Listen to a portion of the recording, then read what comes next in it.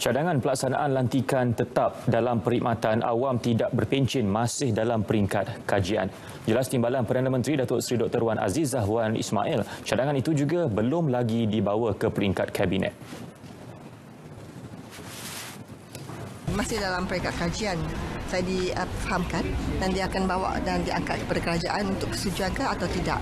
Kita akan bincangkan lebih lanjut lagi.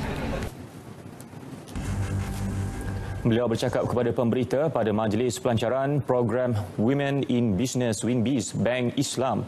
Sebelum ini, Ketua Pengarah Perkhidmatan Awam Datuk Seri Borhan Dollah menyatakan lantikan dalam perkhidmatan awam kelak bakal digantikan dengan skim lantikan kontrak yang ditambah baik.